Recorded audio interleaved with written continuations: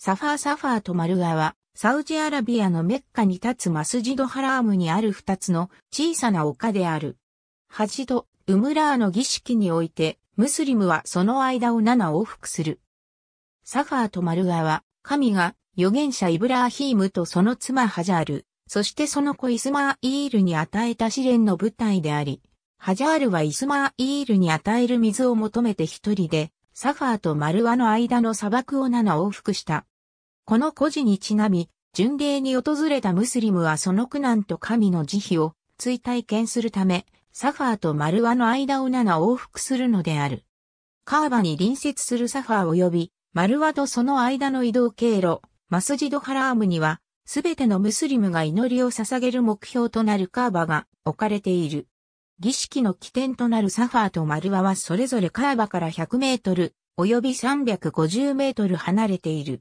サファーとマルワの間は約450メートルである。このため、サファーとマルワの間を7往復すると、およそ 3.2km となる。サファー及びマルワとその間の道は、モスクの一部をなす長い回廊の中にある。メッカを訪れた巡礼者は、この道を往復することでまだ赤子のイスマーイールのため、水と助けを求めてこの二つの丘を何度も往復した、ハジャールの苦難を忍ぶ。イスラム教の伝説によれば、神は預言者イブラーヒームにその妻ハジャールと、息子、イスマーイールをサファーとマルワの間の砂漠に置き去るよう命じた。持たされた食料が尽きると、ハジャールは助け探し歩いた。その際、身動きが取りやすいよう、ハジャールはイスマーイールを置いて一人で行った。最初に近くにあったサファーに登って、あたりを見回したが何も見つからなかったので、今度は、マルワに登って、あたりを見回した。丘を登っている間は、イスマーイールの姿が見え、その無事を確認できたが、丘の間の谷を歩く馬は、イスマーイールの姿は見えず不安になるため、ハジャールは丘を登るときは普通に歩き、谷は走っていった。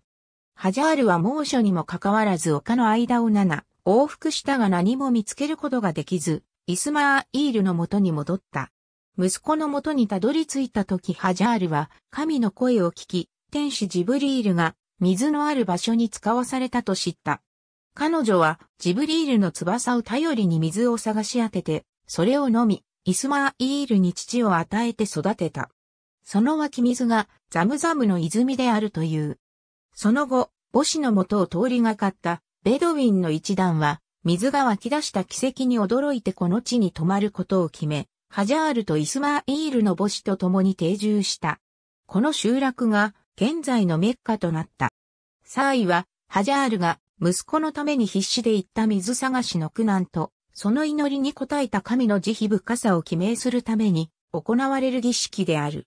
現在はサファーとマルワの間の道は屋根付きの回廊になっており、一方通行の歩道が4本設けられている。そのうち内側の2本は高齢者と身体障害者の専用通路になっている。